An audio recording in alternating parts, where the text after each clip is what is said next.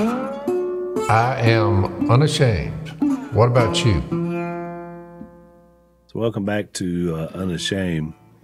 Jase, while you were in uh, Missy were going to the to movie last night, which we talked about in the last podcast, Lisa and I were doing a little kind of a little mini event, I guess you would call it, down here in uh, in South Alabama. Um, we call it the other LA, Lower Alabama. Um, that's kind of our home away from home. But you know, we you're always trying to kind of fit into your community, and so we went to a fundraiser last year for the pregnancy center that's here. And you know, Lisa and I speak at pregnancy center fundraisers all around the country. It's pretty much what we do, other than this podcast, you know, to make our living. But when we went to the one here, we just went as contributors and just, you know, for our community and hear about it. And so we told them that we would be glad to speak at this year's event, which we're going to do. And so last night they had a meeting of their table host. And, you know, it's just a great community outreach to try to give women an answer because, you know, Alabama's like Louisiana, abortion now is against the law. And so you got a lot of women that are pregnant. And so you got to have somebody willing to help them and that's what this organization does. And so it was pretty cool to go in and meet with these folks and tell them, look, we live here now part time. And so we're a part of the community. And so it's kind of a setup. But I found out last night that Willie is going to be down here uh, in a couple of weeks and speaking at a sportsman's kind of like a sportsman's night out, they call it in Pensacola. And so I was going to ask your opinion. So my friend, a friend of mine that was with us last night, he and his wife, they want to go to this event. They want us to go. And I thought, should I just go and pay and go to an event that one of my brothers is speaking at and feel good about it, or should I? I mean, it, it, feels weird if I just bought tickets and went. Should I do it or not do it? I mean, my friend wants to go, and so I kind of want to go just so he'll hear Willie. But then I was thinking, should I let Willie know I'm coming? Because you know, you know how it is when you're doing an event. I don't like a bunch of extra stuff to have to deal with. So I was like, it's kind of oh, got me in a pickle. Yeah I mean, I don't know that I should try to ah. big time it or just slide in. I've had I I've had a lot of family members, not not any of my brothers, but like approach me when I was in an area saying, "Hey, you know, I'm here. You're close to me. I'm, I'm here. What what does that look like?" it, it's a hard thing to navigate because you know immediately you default to well i have an assistant we'll go through the system but i just can't see myself trying to work my way back to see willie in the green room. It just would i don't know. I'm, maybe it's just my pride. People get a false impression of how that works because i mean i'm kind of burying my soul here but usually i have no idea where i'm even going until I'm walking out the door. So like me trying to organize us meeting some I don't I don't know where I'm going. So I'm giving you the person who has put this together because if you're relying right. on me getting you through that door, which you got to remember too, you know, there's breakdowns on that. I have been to multiple events that I was going to speak at and I couldn't get through the door because the security people that they had hired did not give a picture of the person who was supposed to speak, which would be me. And so yeah. when I come pulling up there, they're like, "Hey, where you think you're going?" I was like, "Well, I'm." I look at the whole.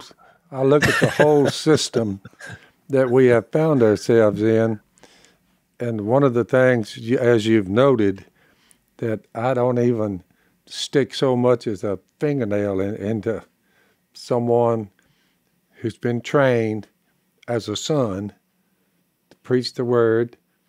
And yeah. and and actually all four of y'all on the on the male side y'all are in my mind that's a that's a a job that can't be replaced or added to. It's it just is what it is. So it's pretty impressive. Well, it's, it's, pretty impressive. It, it's watch. a it's a humble opportunity. I guess what I was asking for, and Jase got it right off the bat, is we do this all the time, and so like I know Willie's got to get in. I already know he's he's on his way to another event, and so I'm thinking I don't want to add to whatever else he's going to have going on. Yeah, if you reach out, you're getting the eye roll. There's two setbacks. You got if you're willing to do this, you got to realize that when he hears or reads your text, there will be an immediate eye roll. Oh, well, now I got to fool with that. But Now Al Now wants to horn him. in on my. Yeah. And the bring his second friend thing, in the back. oh yeah, there's always a friend. There's always a buddy. There's always a friend. And then Yeah. the second thing is you will then be a butt of many jokes in That's his right. presentation. Because because he won't be able right. to resist. If you're up speaking and he sees you, he will have to tell a a joke where you get thrown under the bus. That will happen. But if See, you- I, I'm usually- viewing it whether it be Jep, Willie, Jase, you, Al. I view that that while everyone was, was, might marvel at four family members coming out of one little group, they marvel at what Jesus did. He said to his disciples, and this is a good lesson for modern day concerning all y'all's outreach efforts. Uh, listen carefully to what I'm about to tell you, Jesus said. The Son of Man is going to be betrayed into the hands of men, and that's that's that's the message. That's the family message. Starting with me, handed down to you, Al, next to Jase, Yep. then Willie, Yep. then Jep. They did not understand what this meant when he said, You better pay attention to what's fixing to happen here. It was hidden from them. I have a question going into that that that Luke chapter nine. Why would you hide that at the period of time? They did not understand what it meant, and it, that Jesus had to die, and it was hidden from them, so that they did not grasp it, and they were afraid to ask him about it. I mean, you're saying you're going to die. What? What? What are you talking about? yeah. And th- and they didn't have enough courage to walk up and say, "Let's sit down here for a minute, there, Master." And we just got a few questions here. That that, that we're not to touch this thing with a ten foot pole, but we- we're scared of what you're saying. It, it, it's not. It's kept quiet as it could. He said, "Just, just, just, just stay the course here. It'll unfold. You'll figure it out." But it was a while before they even figured it out. But what was the hidden part? Is it has to do with with Satan not being briefed, or, or how does that? How Well, does I think it had. I think it has has probably more to do with the fact my, that I got four sons. Yeah, I got four sons that are preaching this message right here, right now. So now it's time to you know get get get on it. But at the time, Well- in this time frame, it's interesting that you bring that up because last night, since uh, since we were speaking to a group of people that are going to be present in about a month when we give our normal presentation, I told Lisa, I said, "Well, whatever we talk about tonight, we don't want to get into that because we're going to be talking about that next month." And so we didn't want to get into our story. And so we decided we would tell the story because it's a pro life crowd, obviously. So we decided we'd tell Phyllis's story, you know, about her finding us and, you know, and, Yeah. and me able to t- tell her mom, you know, thank you for choosing life because if she hadn't chosen life when she had every reason not to, to abort her, then we wouldn't have found our sister because she would already be in heaven. We wouldn't get to meet her. So we told that story mm-hmm. and it was it was great. It was it was powerful. But it was funny, Dad, in the story, I said that mom had always said, and she said this many times, so she was on record with her prediction that one day she said a, a, a man, a boy, a man was going to show up. But it turned out to be a, a girl. But she said a guy's going to show up and say he's your daddy's son. It's going to happen one day. She made that prediction many times.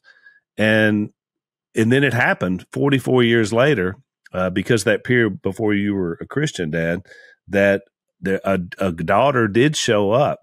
And so mom had predicted that. And so what do you do with the prediction? Because you know obviously that's something that would wreck a lot of families but in our case it didn't. We embraced phyllis and so did mom because she was your daughter. And, And that didn't change the the- fact that Yeah, she said to this day, she said, as a young daughter, not knowing, I mean, she didn't know who her dad was. But correct she said, she said, I felt the power of God upon me, Yep. When I was a young look, everybody was cutting up, carrying on, and more drugs. Uh, Nope, not her. She said, I was, Nope. I, I just knew something was up. And she said, now I know what it was. But that's, She always she always she always sought out Christian community because they moved around Yep. a lot. Whenever they would Yep. move to a new place, she would seek out Christian community as a little girl on her own. Yep. And She you're right. she was I mean, her on- story. yeah, she was, she said I was the only faithful one in the group, my, her family Right. group. Yep. She was, and and it was I- it was obvious that God had His hand of providence on her throughout Yep. her life. Uh, she fa- she married a guy that wound up being a missionary, and her with him, and they they raised two boys together. They've been married over twenty five years. All those things were like she was in our family the entire time. Had the same blessing that we had on us. So it is a pretty amazing story. Uh, that we, by the way, that we broke on the podcast, uh, you know, a few years ago, we found her. So I don't know, Jase, I was thinking about it that mom making that bold prediction and it turned out to be true was kind of what Jesus was doing in our Luke 9 text, that he's making a bold prediction of what he came there to do. And of course, it was going to be true because he's the son of God. Yeah, so we're at a pivotal moment here. Well, what's Luke. the delay, Jase, on the implementation of this? What's I'll give you my two cents. I, I think it's two things because he does say it, what we're fixing to read it. He first predicts it in 9 21 through 22. And then, kind of the implications of that. Well, then you read the part where he predicted it in, where's that at? Verse Four- 44. 43. Yeah, 43. 43. And then he does it again uh, soon after this, the third time. Uh, I don't know where it is off the top of my head here, but and then he also brings up the sign of Jonah, you know, in chapter 11. And, but he, he continues to predict it. So my two thoughts are one, we know from 1 Corinthians 2 7, which I know you're familiar with that, that none of the rulers at that time understood the implications of Jesus' death, or they wouldn't have crucified him. You know, Paul makes that point. This is uh, 2 6 and 7 of 1 Corinthians. When Paul said, We speak a message of wisdom among the mature, not the wisdom of this age or the rulers who are coming to nothing. No, we speak of God's secret wisdom yep? a wisdom that has been hidden and that God destined for our glory before time began. None of the rulers of this age understood it, for if they had, well, they wouldn't have crucified the Lord of glory. Plus, Jase. So, so that's one, but that's one point. I want to give my second point because I think this is the more pressing point. Is the reason the disciples didn't understand it because you're seeing the signs of what they thought the kingdom should be. We referred to it on the last podcast. When you read in chapter 9 and 51 through 55, after this transfiguration with Elijah, just to remind you what we talked about, they all of a sudden thought, well, fireballs are on the table. And so they're wanting to hurl down fireballs anyone who disagrees. So the reason it was kept from them is because even when Peter, you remember when they came to arrest Jesus, what did he do? He grabbed his sword and cut his ear off. I think if they would have fully understood this, that Jesus was going to die, well, they would have led a revolt to stop it. Yep. And he was trying to explain to them no, this is God's plan, which is what we're going to get into in 23 because he then says, Not only am I going to die, you're going to have to die. And so the true meaning of that was hidden because if you don't, they're going to rise up and try to revolt and they're all going to get slaughtered. And probably Jesus is going to die anyway, but it wouldn't be in a way that he's saying the re he was trying to unveil the reason he was going to die and let it play out because it would then point to the love of God for humanity instead of some revolt like every other revolt that goes on that went dreadfully wrong and then try, try to say, oh, well, we only did this because we love you. But that's not the way that the heart is not right then. Then you're, you're out of rage. you're attacking the party that's trying to attack Jesus. So, so that's my two points. And they couldn't hang on, see Dad. Hang on, Dad. in Hang the on, Dad. future. Hang on, Dad. Let's take a break. So we're in the throes of summer in Louisiana, which means hot, humid, sweaty. If you're outside, it's just impossible. You know, you walk out and it's like you're underwater as soon as you go out. So your clothing matters. Um, Jase, you do a lot of outside activities. Yeah. Uh, what you wear matters. Sometimes you have to cover up because you got things trying to kind of get back at you. Uh, but one of the things people don't talk about a lot is their underwear, um, because that matters too.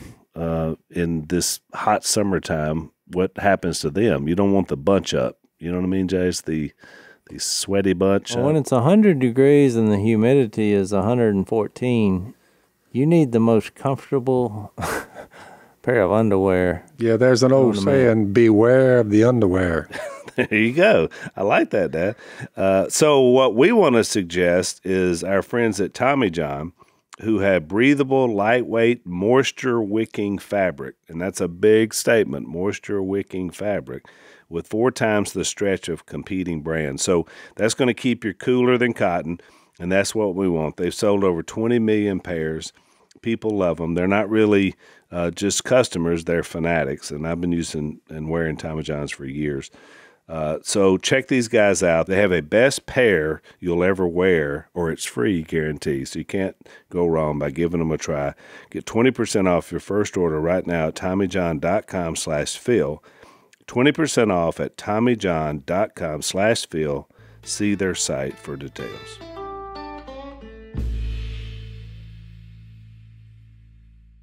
Well, I'll just make the point.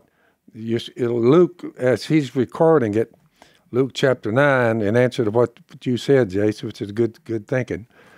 He's got chapter 9. They did not understand what it meant, verse 43, at the, down at the bottom of the page here, what was meant. It was hidden from them so that they did not grasp, and they were then they were too, too afraid to ask him about it. Well, if you go to the next time that comes up is chapter 18, as, we, as we're moving forward here. Jesus took the 12 and told them, We're going to Jerusalem. It's the exact wordage. Everything that's written in the prophets about the Son of Man will be fulfilled. So he goes back in time, the, the big event. They've been predicting this. Jesus is coming. He's coming. Well, he'll be handed over to the Gentiles. They'll strike him, insult him, mock him, spit on him, flog him, and kill him. He's making it worse than the first time.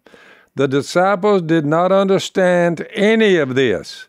Its meaning was hidden from them, and they did not know what he was talking about. I just th- thought it worthy of note. That's the very thing what the disciples didn't understand at the time, Al. That's the very thing that moves this podcast forward via me, Jase right here, and you, wherever you are. You say, and all that now is something we are not to be ashamed of.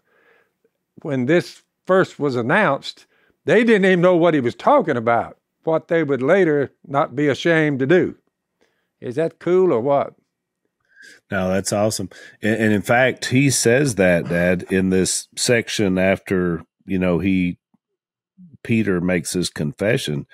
He says, if anyone is ashamed of me and my words, the Son of Man will be ashamed of him when he comes in his glory and in the glory of the Father and of the holy angels. So, to your point, that's exactly the way. That's what we call this podcast because that's the way we live. I, I, I wanted to make Jase. You made a really interesting point about other rebellions, and when I was studying for this section, I discovered something I had never noticed before, and it, it came from uh, Acts five of all places. Whenever you remember when um, they were trying to figure out what to do in the early Acts with Peter and John, the disciples, and so Gamaliel, who was a great Pharisee, a teacher of teachers, he's the one that trained Paul or Saul, you know, before he became Paul. He gives this speech because you know they're wanting to kill him, and he's like, "Whoa, whoa, whoa, whoa! Let's we, you know, we've already been down this road." And he mentions a couple of rebellions in Acts chapter 5, uh, 34 through 37. And one of those rebellions was a guy named Judas the Galilean. And he mentioned, he said, back in the first census. Well, I never really had studied that or figured out who that person was until I was reading into this text. And it was it was fascinating to me because that rebellion occurred when Jesus would have been about 10 or 11 years old. And here's what I found fascinating about it. The this Judas the Galilean, he had this uprising, so they went in and they stole a bunch of uh, a, a bunch of weapons from a Roman garrison. And the town that they stole it from was only four miles from Nazareth. So obviously it was right there close to Jesus' hometown. But here's yeah. what's amazing. So not only was he, he was obviously killed, but not just that, they burned the city to the ground. They took all the inhabitants of the city and sold them into slavery because they didn't stop the uprising. Because you know the Romans, that was the one thing you didn't do was have an uprising, especially if you stole Roman stuff. Yeah. And then here's what's fascinating, and, and it really makes me think about Jesus thinking about his own death. He would have been ten or eleven. They crucified two thousand rebels. This this guy you know, Judas the Galilean Ooh. and his band, and they put them all along the road on the crosses, basically to dissuade anybody else from rebelling against the Roman Empire. But I thought about that. What what would that have been like for Jesus as a boy? And this is right before he went to the temple. The only time we see him from his he's youth. on a very tough road. Oh my goodness, he's yeah. looking at two thousand crosses, and and what that looks like and people just out there probably rotting in the sun. And he knows that one day they're that's going to be what he's going to do. Me. Well, right. It's yeah. going to happen. It's going to happen to me. I mean, I, I had never put those two together until I was studying for this context, and I just put myself a, in the. But that well, might be a motivation for keeping this thing kind of quiet. Well, but but because Jesus's way goes to the heart, where God gives his life, which I, I feel like we need to read what he said because this is not a rebellion. We're not going to take the kingdom by force, which is what everybody thought was fixed to happen, even to this day. If it's all about the survival of the king and the kingdom, and you you get there by trampling other, you you kill them. Any threat, you you take them out. You crush them. And so if that were to escalate, which it doesn't matter, it's really not. It's uh, it's on the disciples. You know, they they didn't ask him about it. It's really on them. It was when it says it was kept hidden from them, but they were contributing in that by being fearful and not asking. You know, you should have asked him, and I think he would have tried to explain it more thoroughly. In that, look, I'm going to do this by giving myself. Now, we can argue about whether they could understand that, but kept hidden from them. I just don't think any rational thinking person would think that's the way to victory is to surrender and die. Well, who's gonna who's gonna believe that? It's hard to know. We we know what happened. They didn't know, and you're like, you're telling me you're gonna die, and that's how we win. Uh, so don't fight in the physical way. It's not that God doesn't want you to fight, but the weapons we fight with are not the weapons of the world. Well, you're never going to be able to pull at people's heartstrings by going and having a scrap on, on the bank, you know, and fighting, and and for you to pick a side and try to figure out what to do, and then we all wind up in debt or in prison. Where's the where's the heart transformation in that? And, and it's interesting, Jase, because you're making Gamaliel's point that he was making in Acts chapter five. Now Jesus is already dead and gone, and he's saying, "Look, let's don't kill these guys. We have these other rebellions. They didn't come to anything. Let's wait and see what happens." So the jury in his mind was still out, even in Acts, yeah. and he was saying, "Let's wait and see what happens, because if it's from God, we can't stop it anyway." I mean, that's the words he said.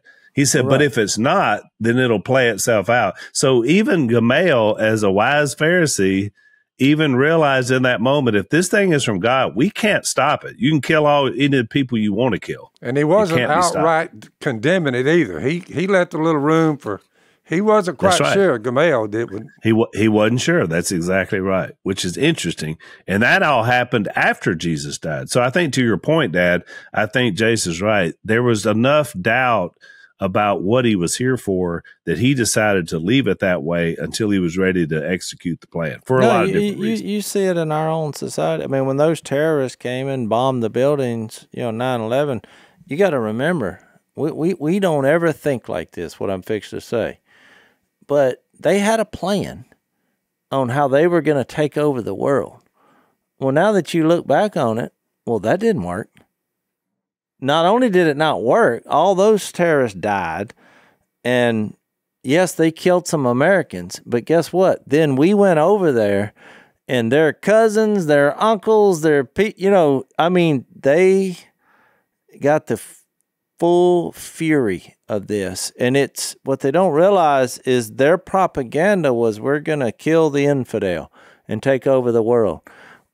Well, it, it, it doesn't work. The, you know, and that's why it just infuriates me when the world lumps all religion into that's what they're about. No, the, Jesus is his message and what he did was the exact opposite of that.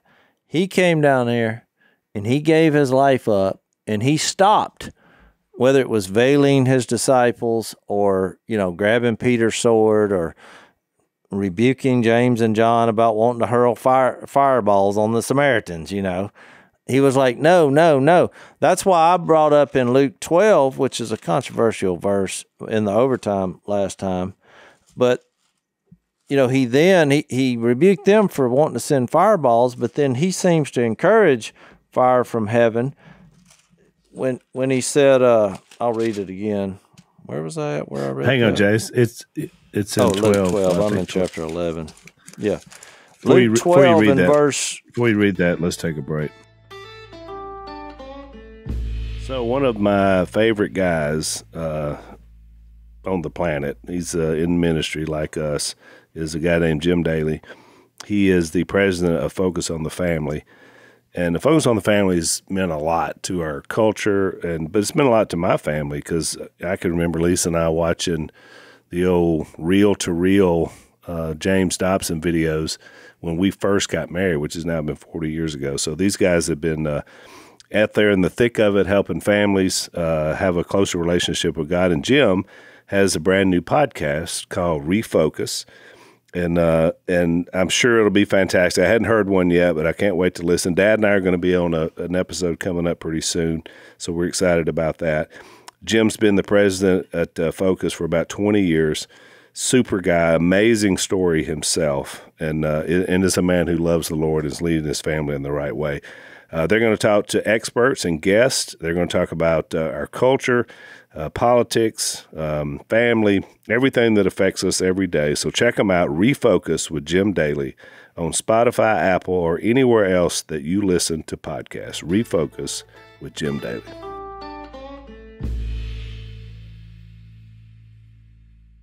Luke twelve forty nine. I have come to bring fire on the earth, and how I wish it were already kindled.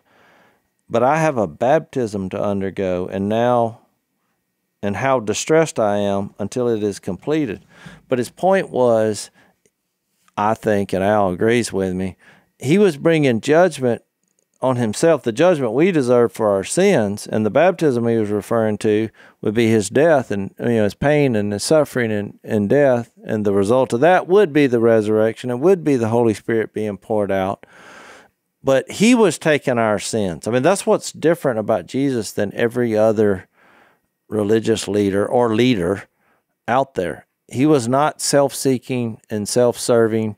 We're not going to take this by force and we're going to keep this secret until it's revealed because the rulers if they realize this is their ultimate destruction well they're not going to crucify me they wouldn't have done it i mean i don't think they would have ever figured it out but in the spiritual world you know you talk about the devil and his angels this has been their method of destroying lives since the beginning of time they'll kill you i mean hebrews 2 14 through 18 says that they hold that power over people and the fear of death. And and the evil one was a murderer from the beginning. He'll take you out. John the Baptist is a problem. What they do? He uses wicked people and a breakdown of their family to get his head on a platter. They kill him. They stop that. And so someone else rises up. So it, they just, the Lord outwitted them by becoming a human and using their own destructive ideas, which is murder, to actually save the world and destroy their power. And what, mean, what, what they incredible. thought was bad, the resurrection proved otherwise. It was all good. Jesus dying, him, because it was a choice he made. It wasn't taken from him. It was a choice he made. He he could have held down fireballs, and it gets back to love was the motivation. Because if you wouldn't have had that play out the way it did, you wouldn't be able to ask the question, well, why did why did he do that? And so then you get to the true character of God, which is because he loved us. And so, I mean, it goes back to the first story that you told about, you know, speaking at these pregnancy centers and doing that event. You know, I'm on the other end of it, which is we encourage people to do the same thing. Well, what happens when someone says, Yes, I'm going to have a baby, and then difficulties come up? Part of what we have to do as followers of Jesus is then help them with, with a pregnancy that's going to be difficult because of their past or they don't have the resources or the means. And so, That that brings to life, Jase, Yeah. while you're there. but, Since but I just wanted to finish my thought. The- So we help this baby and we help the mom. You say, well, why are you doing it? Because we love them. And and it's it's still that love what he did on the cross trickles down to every part of society that makes it a better Correct. place. Is what my point. Go ahead, Phil. since the children have flesh and blood, uh, regarding death now, he too shared in their humanity. There's a reason, so that by his death, which is what he's talking about over in, in, in Luke, he might destroy him who holds the power of death and all the things you talked about that goes with him. That is the devil, and free those who all their lives were held in slavery by their fear of death. Exactly. That's so he. now I feel like we should read it because look, we've been setting this up for two podcasts. So when he gets to Luke nine and they asked him, Who do you say I am? So we're in in verse twenty, and he said, You're the Christ, the Son of God or the Messiah, the chosen one. Jesus strictly warned them not to tell this to anyone, which now you see why that vein is in here. Yep. And he said, The Son of Man must suffer many things and be rejected by the elders, the chief priests, the teachers of the law, and he must be killed. And on the third day, be raised to life. I mean, it's just like bombshell. Now, you would think they would have focused on the be raised on the third day to life, but I'm pretty sure if you really put yourself in a situation and you never heard this, and these are his friends, and they think he's going to rain down fireballs on people, you know, that, granted that hadn't happened yet, but he, they're thinking we're going to take it by force. When when the words came out that the Son of Man must be killed, they probably didn't hear anything after that. Yeah, really. Not really. Now, if you say, "Yeah, I'm gonna be raised three days later," uh, well, yeah, like spiritually speaking, is probably what they're thinking. That that's why they didn't understand it. Yeah. Y- You're not gonna be grasping the full nature of a bodily resurrection at this point of your life. Would y'all agree? yeah. It's Yeah. not going to happen. So so then he says, which this is the transition that we introduced last podcast on what the implications of the act is. What what are the implications of you dying, being buried and being raised? So then he says, if anyone would come after me, well he must deny himself, take up his cross daily and follow me. So it's like I'm going to show you the path. I mean, what's this bringing your cross? I mean, if you if you fast forward to what that means, and uh, you know, I've told my wife this a hundred times, and you know, when we've had difficult times or even arguments between us or whatever, you know, this verse comes up a lot because it's always the answer to every argument or situation. We, as human beings and followers of Jesus, we are supposed to deny ourselves, take up our cross daily, and follow Jesus. That is the answer to all situations That's that it. come up. What happens is that that verse has been read so many times. You know, you really have to put yourself carrying your cross. I mean, what was happening when Jesus was carrying his cross? People were persecuting him and hollering, but he still he's not getting off the the plan. He he's still doing that. So when people do you wrong and people, you know, we have to get over bitterness or we have to repair a relationship or we try to repair other, you always got to remember what Jesus is asking us to do is to be walking in a mob persecuting you and just it's a hail of abuse and insult that may be happening but you have to just keep on the train. That's how people see love.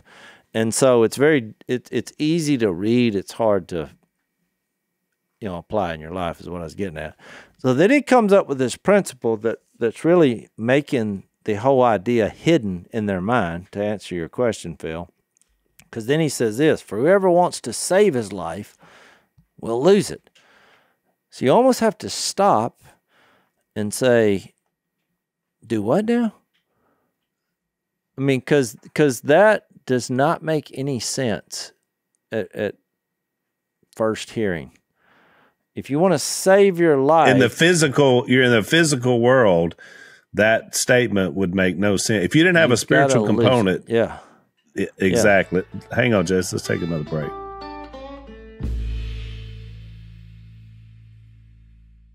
But what's interesting now is you're right. We immediately go spiritual, but but as far as himself, he was thinking physical also. He's literally going to save our lives by losing his. The, it, it's it's the combination of what he just predicted with us responding to it. So then he says, "But whoever loses his life for me will save it." So in a way, he's saying, because I'm going to die and I'm going to be buried and I'm going to be raised, you should lose your life. You should say, I'm now I I do think that's a spiritual application for us, and that's what happens when we hear the gospel. And really, when you tie in this to all the illustrations of you know baptism being a surrender and a reenactment of his death, burial, and resurrection, it gets quite powerful when you when you start thinking about what Yeah. he's implicating here, spiritually speaking. So, what good is it for a man to gain the whole world? Now, now th- here he makes a transition into the difference in kingdoms here, because every other kingdom is about the king surviving no matter what.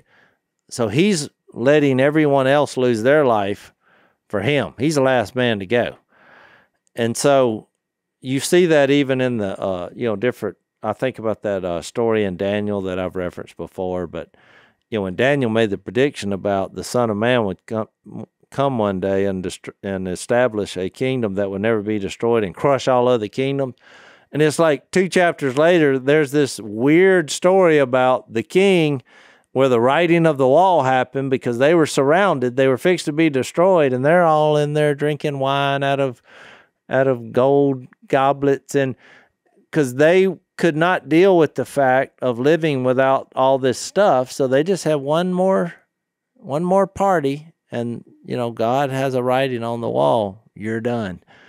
And that was the gist of what he said. And that king was dead before the sun came up. And so he makes this analogy here. What good is it for a man to gain the whole world and lose or forfeit his very self that there's the answer to the question it's not good. You could be the most powerful king material possession wise the world has ever known but you can't fix your sin and you can't live again. It's someone comes along and so if anyone is and this is really uh, uh, the name of our podcast this is one of the references why we named this podcast unashamed because in this key moment of luke because don't ever doubt it this is a key moment who jesus is peter declaring it jesus' prediction and what that means to those who follow him he says if anyone is ashamed of me and my words the son of man will be ashamed of him when he comes in his glory and in the glory of the Father and of the holy angels. I tell you the truth. Now, here is another lightning rod statement. Some who are standing here will not taste death before they see the kingdom of God.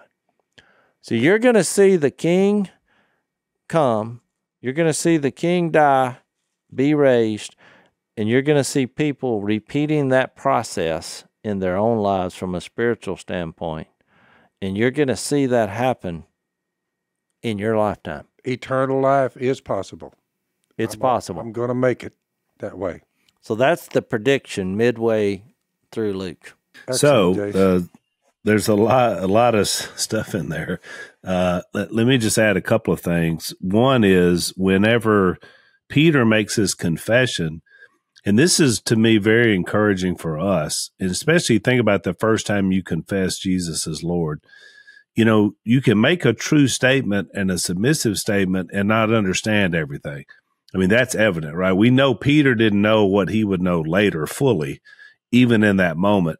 But that's heartening to me that when we confess Jesus as Lord, that we're saying we trust you even though we don't get it all in the moment. In other words, you spend Peter spent the rest of his life yeah. learning what that meant. So one guy that I was reading compared it to uh, Einstein's mass energy equation, E equals mc squared.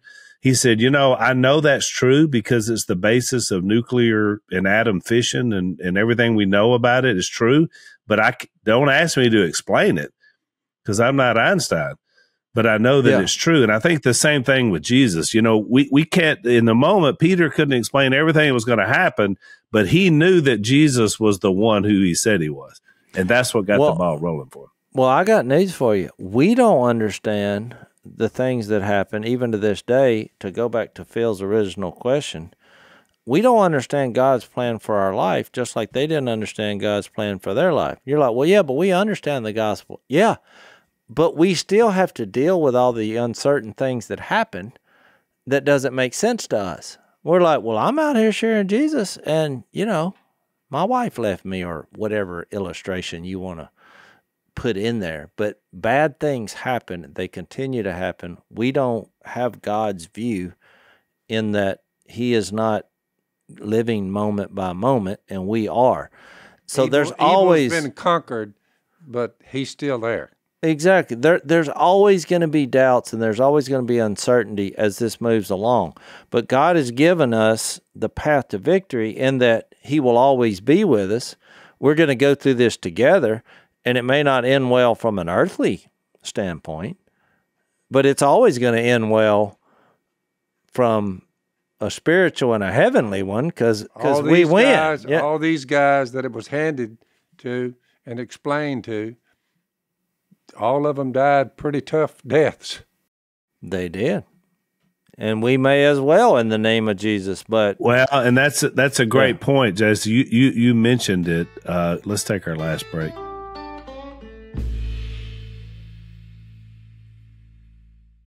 Jase, you mentioned it that it there is spiritual application to everything we see in this text, but you can't just shift it over to the spiritual because the physical does matter. Jesus is talking to men, uh, 12 of them. One of them, of course, is going to turn, is become a traitor. But out of the other 11, 10 of them are going to give their lives just like Jesus did, physically, for the cause. I mean, so literally they're going to do what he said, deny themselves, take up the cross, and they're going to give their lives that's open for any of us who are believers. I mean, you know, right now we've been living in a pretty good era of time where, you know, you're, you're not killed for your faith in where we particularly live. Although people in other parts of the world, they are. You go to certain parts of Africa, even to this day, if you're a Christian living in a certain place, you may lose your life because of what you believe. And so there is a physical component here, but then obviously the overriding is that we all this happens because we follow his example, which I think was his point. I'm doing this so you won't have to, because our death, even though it honors Christ, it's not going to save anybody else. But his death saved all of us. And that was the one that mattered.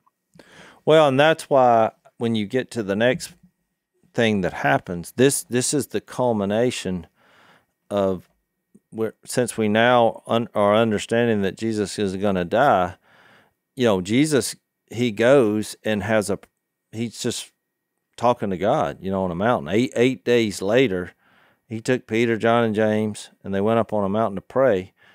And as he was praying, the appearance of his face changed, and his clothes became as bright as a flash of lightning. And so, before we get to who shows up, because you know we're in our last segment here, I think now there was a couple things happening. He's more than a prophet because now he has introduced what he's going to do, the plan to his disciples. So he is prophesying that, but he's also praying because once he stated that to his disciples, well, that became real. And the reason I read the Luke 12 about when he said, I have a baptism to undergo and I'm distressed about it. Well, it was difficult for Jesus to die. I mean, you're talking about humility. And, and we see that in his in his heart when he's when he's asking the Lord in the garden, you know, is there any other way? And we see that when he says, cries out, My God, why have you forsaken me? You know, it, his human side of experiencing death, and this is humility times a thousand. But here you see, I, I'm pretty sure that he was praying about this. And what happens? We, we now get an image, the imagery of this transfiguration is incredible. You know, the cloud comes in, he's glowing, the, the Father speaking, and it takes you back to what happened at Mount Sinai. And when the law came out, you know, you had the cloud, the presence of God, and they had this system set up where if anybody, I think it's in uh, Exodus 33, you read about it, but you know, no one could see the face of God. Why? He said, "You'll you'll die.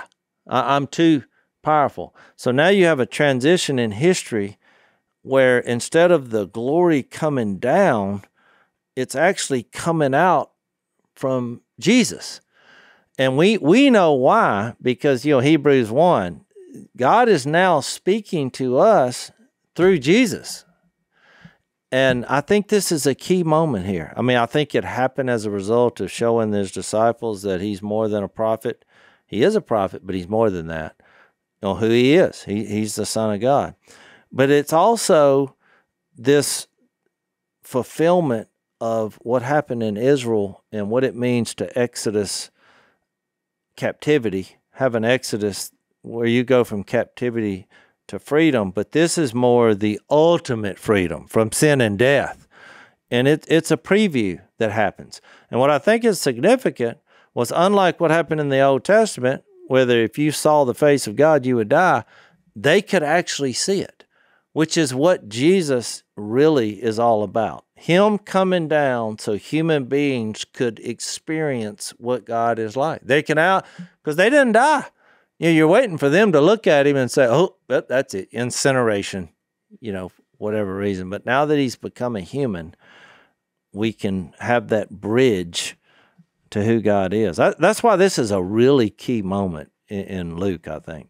Yep. And what's interesting, Jase, the word there that describes this change, the Greek word there is metamorpho, which of course we recognize is the English word translated out of that is metamorphosis. In other words, this is something that now we see as a transition that's available for someone else. So the idea is there was a metamorphosis in Jesus to show this glory, you're right, in a way now that can be grasped. And so some people have said, uh, and because we didn't talk about this, you mentioned in, in verse 27 when he said, uh, I tell you the truth, some who are standing here will not taste death before they see the kingdom of God, that this was the first glimpse of the kingdom of God was in this moment, these three disciples. And some people think that's what he meant there. I don't. I think he's talking about the coming of the church and, you know, the Holy Spirit coming well, and all right. that. But I agree with you, but I do think it's a part of it, you know, because part of coming in the kingdom is actually grasping the very idea of this.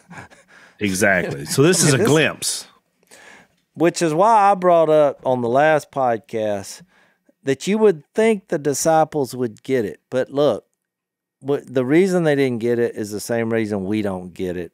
It, when things come up in life, we are bound by our physical bodies and we think like humans. And we we don't understand. We think well if i follow god i shouldn't have any problems. I mean you'll say that's not true but when something happens to you you get a di- diagnosis for cancer or your kid does or whatever i mean we just immediately think well i don't understand this. What? I thought and, and so that frame of mind is what happens and you see it happen in the disciples life. We don't go two paragraphs and some people don't like their message and they're James and John are wanting to rain down fireballs on them. What happened to this lose your life and all? You know, we're uh, we're going to give up our lives, guys. And look, I have the power. Trust me. You saw Moses and Elijah, so let's just stick to the plan. Two paragraphs later, let's do some fireball hurling. That they couldn't get past that.